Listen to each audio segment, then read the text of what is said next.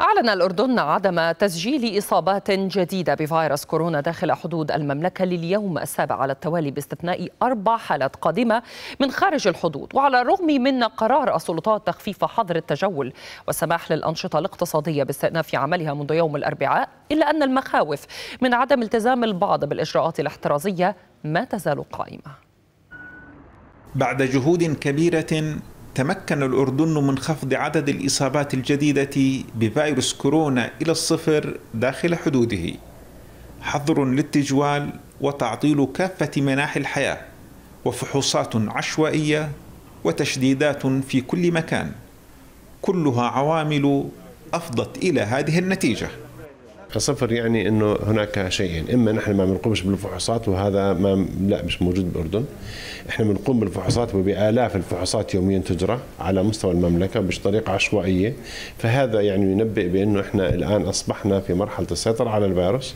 آه والأمر الثاني إنه إحنا فعلا آه وجدنا إنه آه إنه الفيروس فعلا أصبح خارج يعني عن موضوع إنه خلاص يعني بطل يصير يهدد الأمن الوطني أو الأمن القومي للأردن. أهم عوامل النجاح في التصدي لكورونا كمامة وقفازات وتباعد اجتماعي واتباع التعليمات الصحية. حصد الأردن نتائج قراراته في مواجهة فيروس كورونا نجاحا ولعب الوعي عند المواطنين دورا حاسما. لكن البعض ما زال لا يأخذ احتمالية عودة الفيروس على محمل الجد. تزدحم أسواق عمان. ويتزاحم فيها الناس. بعضهم يتبع الإجراءات الاحترازية وآخرون لا يأبهون يتجولون من غير أي احتياطات وقائية. رغم مناشدات الحكومة باحترام إجراءات السلامة العامة. والله أصلا أشتريهم بس نسيتهم والله أصلا أشتري. ولازم نلبس كفوف وكمامات إن شاء الله. أنا حاليا واحد على المشغل تبعي.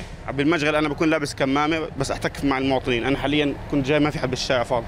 إحنا في عندنا 14% من أبناء المجتمع الأردني لا زالوا حتى الآن غير مقتنعين بالمرض ولا يدركون مخاطر المرض على الإطلاق وهؤلاء سوف يشكلون خطر علينا. طبعا هؤلاء ال 14% إحنا بنصنفهم من باب إنه يعيشون في الوعي الزائف هؤلاء يفسرون الأمور ليست على حقيقتها يفسرونها من وجهة نظرهم. الأردن لم يسجل إصابات بفيروس كورونا على مدى أيام لكنه لم يعلن خلوه من الفيروس لذلك لا يزال خطر الفيروس قائما. نايف مشاقبة سكاي نيوز عربية عمان